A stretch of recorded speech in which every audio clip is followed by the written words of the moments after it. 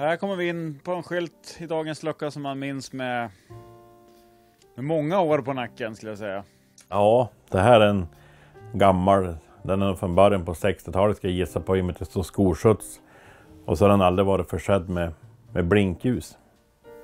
Ja just det, det var lampor också. Ja, satt ju två runda blinkande här. Och jag vet under min uppväxt, vi hade de här med blinkande. Och vilket mörker det var att få dem till att blinka. För det var ju alltid glappkontakt nästan.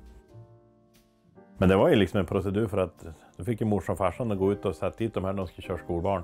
Nu vet jag också att man stoppar fast dem fram. Då ska man plocka bort dem. Jag vet att ofta vart de ju bara lyft upp och satt bakvägen.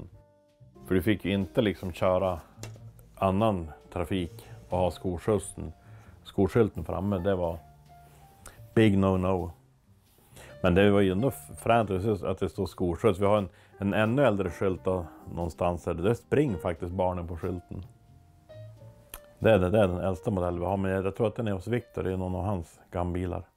Varför var man tvungen att ha blinkande lampor då? Jag tror att det här syntes eller förmodligen för dåligt. För man tänker på att det var ju ofta saknade vägen ja, men belysning, så det var mörk och muggig väg och så kanske bilen som kom och körde inte hade världens bästa halvlyse eller hellyse heller. Så med, med blinksken vart de mycket mer synliga på det viset.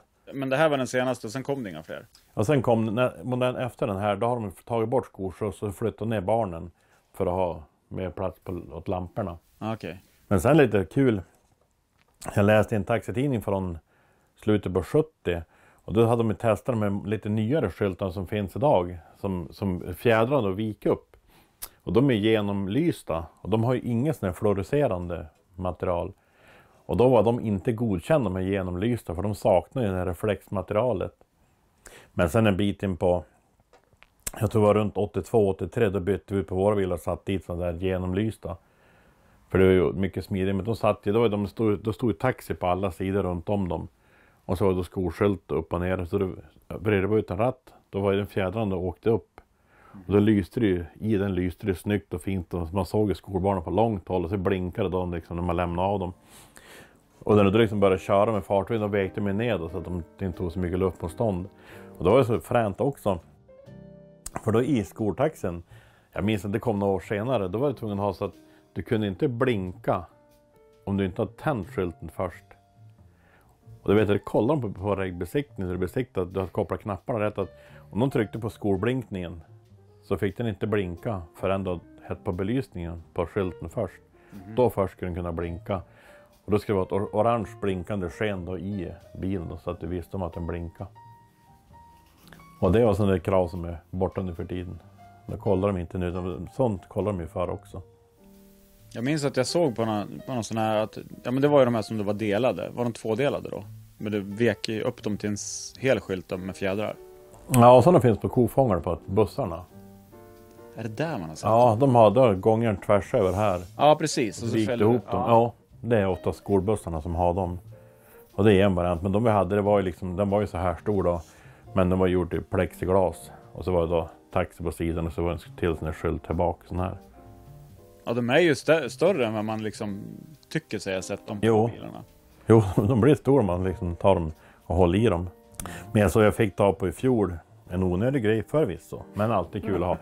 En sån här modern taxiskylt med LED-belysning. Och den är bara så här tjock, alltså den är jättetunn. Och de jag hade när jag körde, jag det var sju år sedan jag slutade, den var ju, den var ju så här tjock. Så att utvecklingen har gått framåt till, till det bättre på skolskyltarna. För sen var det också ett elände, de här som var fjädrande som åkte upp, de här stannade av. De här förbaskade fjädrarna gick jag typ i kvarten. Så många taxi på den tiden, de hade en skylt som hade liksom bara halv, halv slagsida.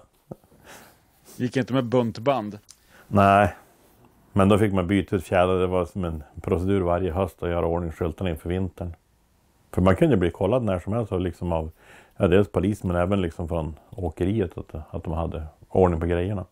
Och de här skyltarna var man tvungen att ha? Ja, och framförallt då jävligt noga med att inte köra med dem när man har andra, annan typ av körning utan bara skolskjuts fick man ha de här uppvikta.